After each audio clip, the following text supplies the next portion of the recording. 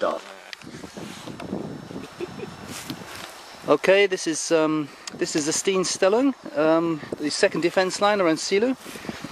This is um, a foxhole, and these are 88 cartridges, used cartridges in a foxhole. And there is the Reichsbahn one, which they would have been aiming for. Sterke This Kan je is door je knieën nothing. years. so here we are on the Stein Stellung still, and we found this is a German 81mm mortar. It's still live; it's not exploded.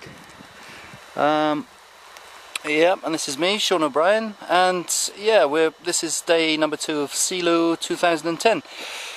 So, an 81mm mortar.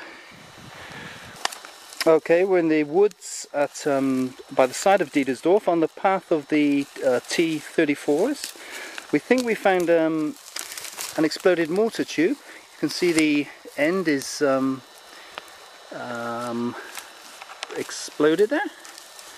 So yeah, very interesting piece. And this is April 2010.